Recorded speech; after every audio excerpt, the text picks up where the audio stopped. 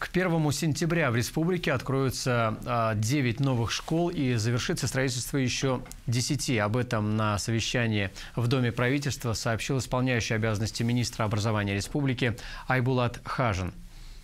Три новые школы в Уфе и Стеретамаке получили новое оборудование на 300 миллионов рублей. Кроме того, в этом году на капитальный ремонт образовательных учреждений было выделено почти в два раза больше денежных средств, чем в прошлом году. Общая сумма 1 миллиард 36 миллионов рублей.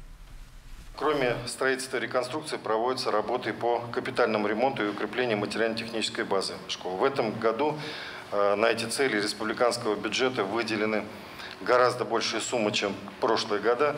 Ну, к примеру, я могу назвать, в прошлом году это была сумма составляла 714 миллионов рублей, в этом году миллиард 36 миллионов 840 тысяч. Между тем, руководитель республики Ради Хабиров а, поручил Министерству образования региона оформить красный листок претензий директорам школ от проверяющих ведомств для выполнения нарушений по вопросам организации безопасности учеников. Он потребовал к 20 августа выявить 10 муниципалитетов, где были допущены нарушения. Каждый руководитель школы должен в течение недели получить полную картину, что к нему предъявляется. То есть вот а, а, у него должна быть справка лежать у школы или ваше требование за подписью вашей, что по линии ЧС и пожарной безопасности он должен устранить вот это. По линии, соответственно, Роспотребнадзора обратить внимание на это.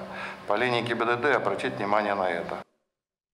Также к началу учебного года все республиканские школы оборудуют теплыми санузлами. Из бюджета Башкортостана на эти цели было выделено более 160 миллионов рублей. Напомню, с 1 сентября все школы переходят на пятидневный режим обучения.